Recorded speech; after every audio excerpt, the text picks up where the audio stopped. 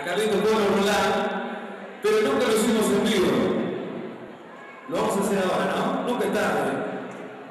Bueno, para mí es un gusto cantar con este gran músico y esta gran persona, porque es una gran persona que es Maestro Grillo. O sea, es un gusto, Maestro, todos sus músicos y usted que es un montón de cosas lindas. Dame compañero, no lo también, Maestro Conco. Bueno, vamos